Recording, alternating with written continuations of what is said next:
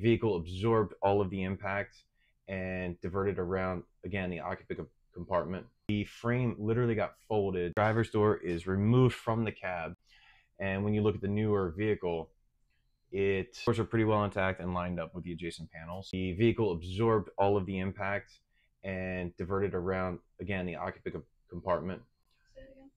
And so the vehicle stayed intact and the energy was diverted around the occupant compartment as opposed to the older F-150 the energy went straight into the occupant compartment and it literally folded. So here's the cab itself is literally folded like an accordion. The roof is buckled the floor is buckled and the roof is clearly just buckled. And the occupant would have been in very critical condition